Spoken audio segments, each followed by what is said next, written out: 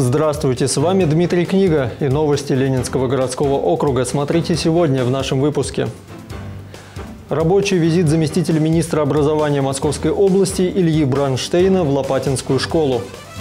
Когда эта школа только готовилась к открытию, мы уже тогда э, обсуждали реализацию здесь концепции школы как центр социума. Территория между деревнями Калиновка и Сапроново в будущем превратится в благоустроенный парк. И мы очень надеемся, что это объединит обе деревни, мы тут все подружимся. Поэт и писатель Юрий Егоров отмечает юбилей. Жанр сказок, он очень популярен, потому что о некоторых вещах ты не можешь говорить прямо. Всероссийский проект «Читающая школа», Центр цифрового образования детей IT-Куб, множество программ дополнительного образования и все это в обычной общеобразовательной школе в Лопатино. Еще до ее открытия было решено реализовать здесь концепцию школы как центр социума. С рабочим визитом учебное заведение посетил первый заместитель министра образования Московской области Илья Бранштейн. С подробностями наш корреспондент Екатерина Борисова. Два спортивных зала, большой актовый зал на 400 мест, просторные светлые классы, яркие коридоры и множество программ дополнительного образования. За это любят Лопатинскую школу местные жители всех возрастов. Школа активно участвует в федеральных образовательных проектах, которые курирует Министерство образования Московской области.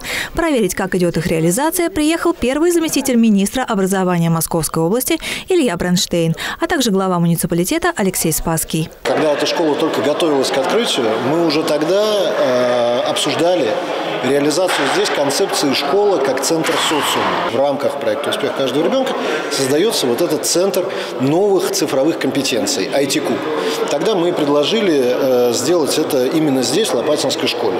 Высокие гости отправились на экскурсию в открывшийся в начале сентября в стенах школы Центр цифрового образования детей IT-Куб, где поговорили с преподавателями и школьниками, а также сами почувствовали себя в роли учеников. Здесь сейчас их пока базовые настройки, да, а так можно там измерять расстояние, то есть помогать себе в движении. В IT-Кубе шесть направлений – основа программирования, разработка мобильных приложений, технологии виртуальной и дополненной реальности, робототехника, системное администрирование и кибербезопасность. По всем направлениям уже начались занятия.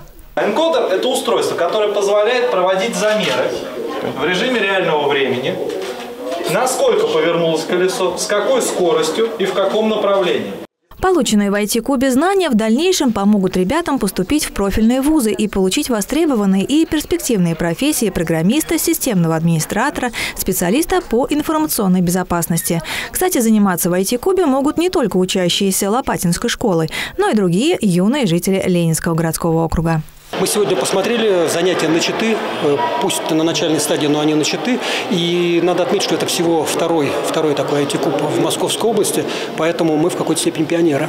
Работают в школе и другие федеральные проекты. К примеру, в конце прошлого года учреждение вошло во всероссийский проект «Читающая школа». Теперь здесь есть «Мамина комната», где ученики начальной школы после уроков могут послушать детские рассказы и сказки, которые им читают родители.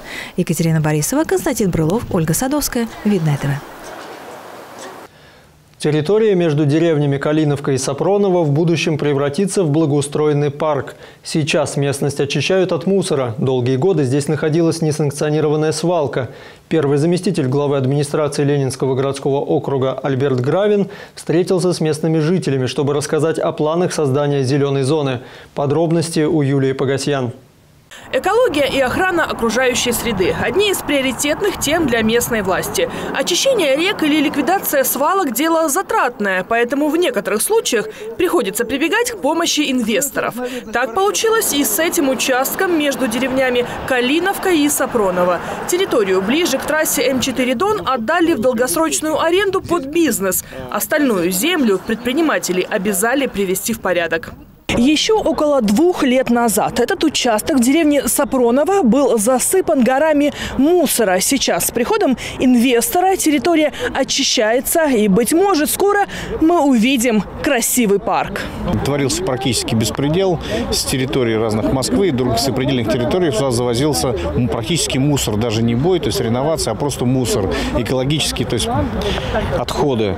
Вот мы приняли меры вместе с правоохранительными органами, прекратили путем арестов, арестов техники, всего прекратили это безобразие. И беда в том, что в результате их действий было нарушено русло реки Бица. То есть она практически начала подходить уже, собственно говоря, к нашей трассе М4 Дон. Работы у инвесторов не на один месяц. С проектом Минэкологии Московской области определили подрядчика, который сегодня пытается вернуть русло реки на историческое место. После предстоит еще укрепить берега. В рамках этого же договора необходимо благоустроить пустырь, где была свалка и не допустить сброса новых отходов. В рамках мониторинга планируется поставить а, а, рамку с камерами, чтобы мы могли просматривать, какие машины заезжали, какие машины, может быть, а, хотят по ночам выгружаться здесь. Вот. И выведем это в общий доступ в онлайн-режиме, чтобы могли жители посмотреть в любое время, какие машины едут, что везут и так далее.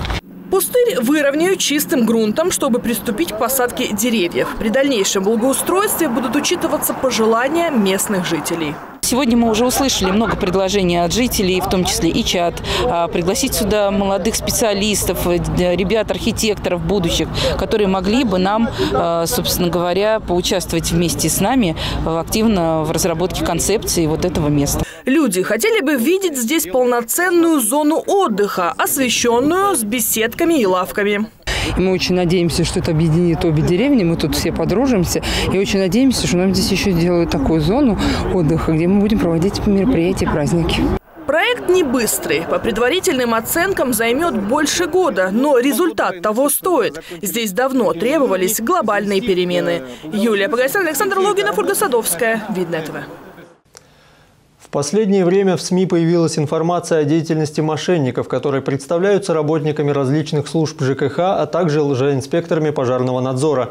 Сегодня мы поговорим об этом с главным государственным инспектором Ленинского городского округа по пожарному надзору, начальником отдела надзорной деятельности и профилактической работы по Ленинскому городскому округу Сергеем Дешкиным. Сергей Владимирович, добрый день. Добрый день. Расскажите, какая ситуация на сегодняшний день э, с этими лжеинспекторами и другими мошенниками? Знаете, действительно, э, в последнее время на территории Московской области возобновились случаи мошеннических действий э, со стороны неизвестных лиц, которые представляются сотрудниками пожарного надзора МЧС России э, и требуют у предпринимателей, у руководителей организаций, вымогают денежные средства путем того, что представляясь сотрудниками Государственного пожарного надзора МЧС России сообщают о проведении внезапной внеплановой проверки, э, о том, что в случае выявления нарушений требований в области пожарной безопасности влекут, э, влечет большие штрафные санкции, которые будут непосильны для оплаты предприятию и вплоть до увольнения сотрудников. В адрес юридических лиц и индивидуальных предпринимателей поступают звонки от неустановленных лиц, которые предоставляются, представляются э, сотрудниками МЧС России, Государственного пожарного надзора и в угрожающей форме сообщают э, руководителям предприятий о предстоящей проверке в области пожарной безопасности. И в случае непрохождения данной проверки о больших штрафных санкциях после проведения данной проверки. Э, якобы уже выехали сотрудники МЧС России на место проведения проверки и в течение 30-40 минут приедут э, для осмотра фото- и видеофиксации нарушений, которые возможно выявить на предприятии очень сильно воздействует тем самым психологически на руководителей э, предприятий, индивидуальных предпринимателей. Подобные факты фиксировались нами, были зафиксированы э, в июне и августе 2019 года и в мае и сентябре текущего 2020 года. Мы регулярно размещаем информацию по теме «Осторожно, мошенники» на сайте администрации Ленинского городского округа, а также в газете «Видновские вести». Э, озвучиваем данное предостережение при э, совместных совещаниях, встречах с бизнес-сообществом Ленинского городского округа. Напомню, что действия должностных лиц органов пожарного надзора регламентированы законодательством Российской Федерации. Скажите, пожалуйста, во-первых, как можно защититься от таких э, возможных действий со стороны мошенников? И о каких э, суммах идет речь? Вот они, допустим, грозят штрафами. Вот насколько это э, сильно может ударить по карману предпринимателей? Э, дело в том, что мошенникам э, важен фактор времени. Э, им нужно срочно, сейчас, быстро, чтобы руководитель организации не успел продумать, ну, понять, что происходит, да, и спокойно осознать происходящее, подавшись на уловку, перечислить денежные средства либо на телефонный номер, либо там, на банковскую карту. Денежные суммы там, от 30 до 50 тысяч варьируются значит, э, тем, что за непроведение проверки, либо проведение проверки без нарушений, э, сумма э, значит, в денежном вознаграждении должна содержать вот от 30 до 50 тысяч, как показывает практика. Ну, смотрите, пожарный надзор – это же официальная организация. Как можно просто деньги перевести на карточку, условно говоря? Ну, это же должна сразу закрасться мысль, что это какой-то развод, по большому счету, если можно так выразиться? Да, конечно, без сомнений. То есть э, каждый человек должен понимать, что э, МЧС – это государственная структура, а политика нашего министерства – это максимальная открытость перед гражданами, перед индивидуальными предпринимателями, юридическими лицами. Поэтому у нас, соответственно, э, плановые проверки проводятся. А, за, перед проведением плановой проверки юридические лица, индивидуальные предприниматели, граждане уведомляются за не менее чем за трое суток до проведения плановой проверки. Хочу также сообщить о том, что а, в 2020 году а, в связи с пандемией плановые проверки отменены полностью государственного пожарного надзора. При проведении внеплановых проверок, любых внеплановых проверок, Э, юридическое лицо, граждане, индивидуальные предприниматели уведомляются о такой проверке э, не менее чем за 24 часа до ее начала. Э, уведомляются путем вручения распоряжения, которое содержит свой порядковый номер распоряжения, в котором указана дата начала, дата окончания проведения проверки. Как правило, это не менее 20 рабочих дней, и ни о какой быстроте проверки речи быть не может по факту. Данное распоряжение имеет печать и подпись руководителя, либо заместителя руководителя надзорного органа. И заключительный вопрос. А если поступил уже такой звонок, вот вы говорите 30 минут, за эти 30 минут какие действия должен сделать предприниматель, чтобы предотвратить э, факт мошенничества? Ну, прежде всего, нужно не поддаваться панике. Никакой паники. Э, пожарный надзор – это открытое ведомство, МЧС – открытое ведомство, которое э, всегда придет на помощь. Это в первую очередь. У нас предотвращение, спасение, помощь. А, необходимо выяснить у звонящего э, фамилию, имя, отчество его, каким именно руководителем он является, а, какая проверка, вид проверки уточнить.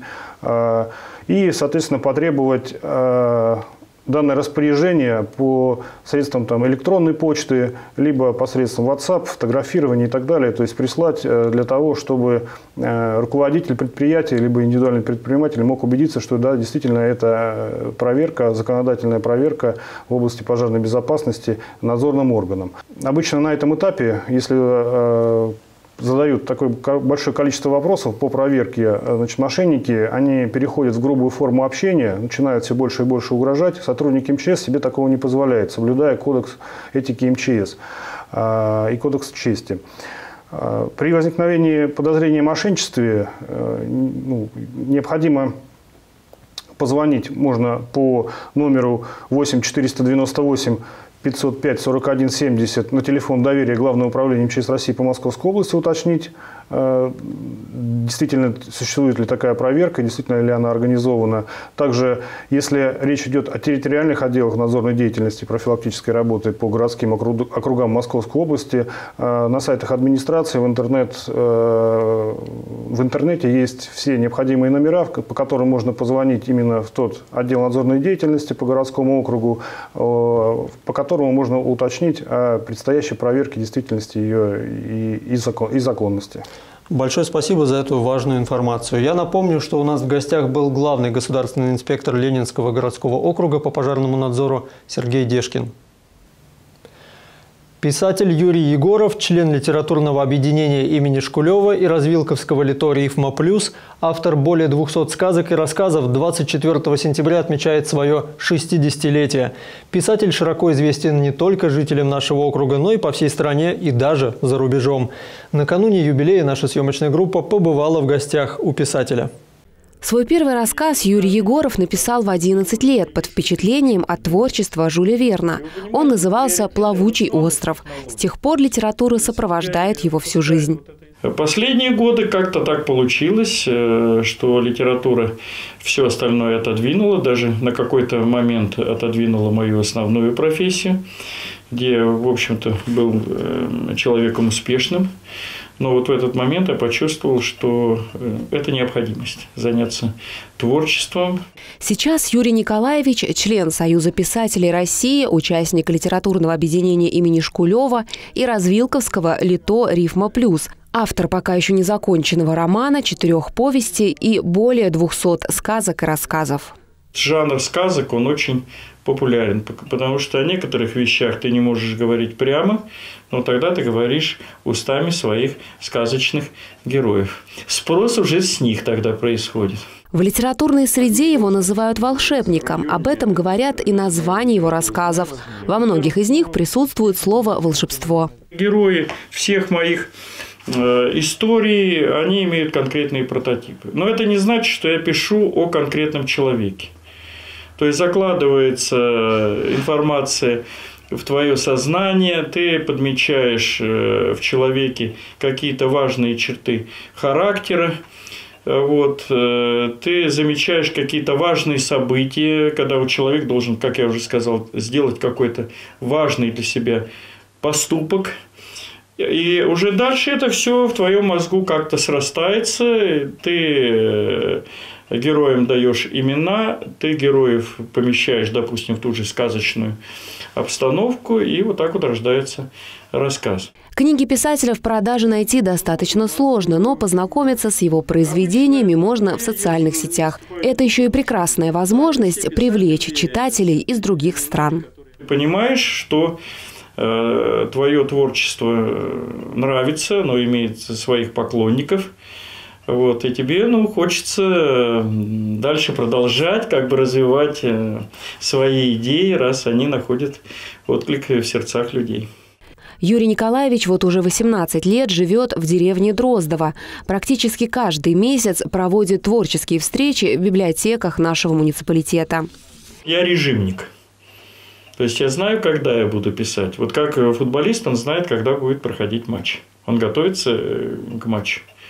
Я знаю время, я знаю день, я знаю, что мне надо, как себя вести накануне. Но вот как спортсмен такая тренировка.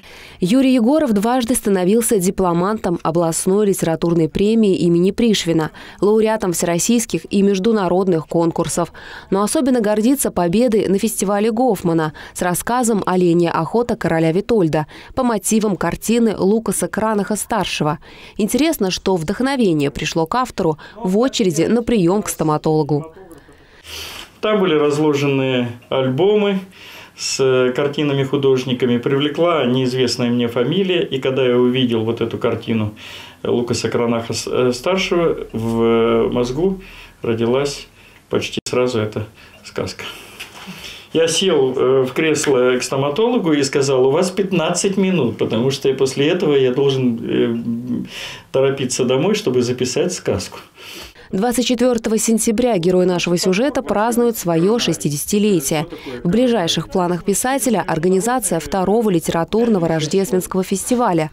Он проходит в социальных сетях, для этого создан специальный YouTube-канал. В фестивале принимают участие авторы из разных стран, и это станет большим подарком к собственному юбилею. Наталья Буслаева, Сергей Ларин, Елена Кошелева, Видное ТВ. У жителя города Видное Дениса Феоктистова довольно необычное для мужчины хобби. Он вышивает. Причем делает это на довольно высоком профессиональном уровне. Но и он, и множество его коллег только участвуют в выставках и картины свои не продают. Почему об этом узнал Максим Козлов? Денису Феоктистову не чужды и традиционно мужские хобби. Например, он заядлый рыбак. Но все же главное место в его душе занимает вышивка. А увлекся ею Денис, как это часто бывает, совершенно случайно. После школы появилось много как бы, свободного времени. Нужно было чем-то занять. Родная тетя привезла журнал по вышивке. Говорит, хочешь попробовать? Попробовал, понравилось. Переросло вот в такое большое увлечение. Денис работает в ресторанном бизнесе, имеет множество других увлечений, а потому признается, что на вышивку тратит только по 2-3 часа в день. Много времени проходит, прежде чем мастер сможет насладиться плодами своего труда. В среднем где-то от полугода в зависимости от сложности работы. И до? Ну, там уже некоторые люди и годами шьют. Есть такие работы, которые по два, по три года шьются. За всю свою карьеру вышивальщика, это почти 15 лет, Денис сделал более 50 картин. Естественно, все они разные сложности. Иногда в вышивке приходится использовать более 250 различных оттенков. Но чем сложнее работа, тем интереснее и тем дороже она становится впоследствии мастеру. Это по картине Джона Уильяма Бугро «Ангел и бабочка» была как бы вторая многоцветка, которая отшивалась вообще. Угу. Вот именно на самой мелкой конве. И как долго вот над ним работали? Это было, по-моему, где-то, наверное, месяцев шесть с половиной, точно. Денис не продает свои творения, говорит, что оценить по достоинству затраченную на каждую картину работу, как правило, никто не готов. Продают это единицы, потому что продать за ту сумму, которую ты хочешь, это крайне тяжело как бы вот кто выставлял, просто даже выставки вот проходили большие многоцветок, люди просто ставили вот на большие работы по многоцветкам просто миллион, чтобы не мучили вопросами, сколько это стоит. Денис отмечает, что до совершенства ему пока далеко, а потому он не устает учиться. В век интернета общаться с единомышленниками проще простого, и среди них, кстати, немало представителей сильного пола. Мужчин достаточно много, э, общаемся в основном на вышивальных форумах, те же самые группы ВКонтакте есть, которые специализируются вот на вышивках, на многоцветных вышивках. Так что общение идет полным ходом. Работы Дениса можно увидеть на многочисленных выставках, которые проводятся в Ленинском городском округе. Максим Козлов, Александр Логинов, Елена Кошлева. Видное ТВ. На сегодня новостей больше нет. Желаю вам всего доброго и до свидания.